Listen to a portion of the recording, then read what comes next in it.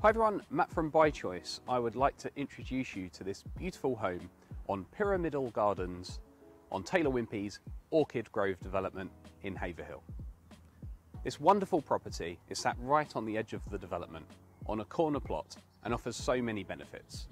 You've got a pedestrianised pathway to the front which is perfect for dog walks and cycling and the property itself offers three bedrooms, two bathrooms, beautiful ground floor living accommodation, private gardens, as well as garage, parking, and lovely views.